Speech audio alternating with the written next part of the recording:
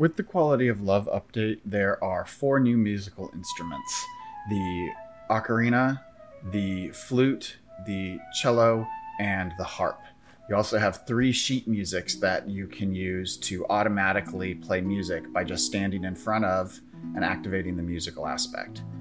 Each instrument is designed to do a different portion of the song, so they're not all playing the same music. They're designed for all four instruments to be played together in order to get the entire song as a multiplayer ensemble.